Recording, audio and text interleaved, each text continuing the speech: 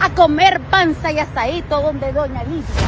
En Santa Cruz, un grupo de influencers reconocidos ha estado promocionando un snack conocido como Doña Livia, degustando de lo más sabroso y asegurando que es un lugar de visita obligada.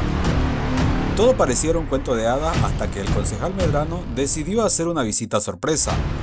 Al entrar, se encontró con un escenario digno de una película de terror. El lugar estaba más sucio que una película de zombies y había chulupis como extras no invitados.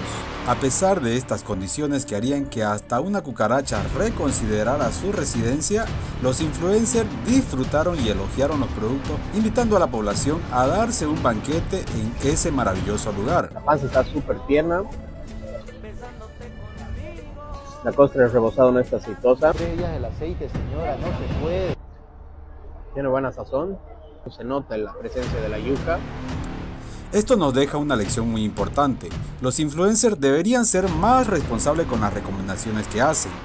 Antes de promocionar un negocio, deberían verificar que cumple con todas las normas de higiene y salud, ya que su influencia puede llevar a muchas personas a comer en lugares menos seguros que una guardia de dragones. Vine con expectativas altas, pero no me decepcionaron. Todavía ni siquiera es una cría. Así que queridos influencers, antes de dejarse llevar por unos cuantos pesos y unas cuantas papas fritas, asegúrense de no estar vendiendo a la comunidad un lugar más sucio que la cocina de un ogro. La ética y la responsabilidad deberían ser siempre los integrantes principales en todas sus recomendaciones.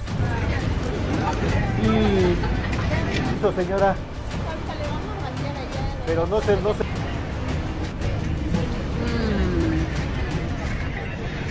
My mantequilla.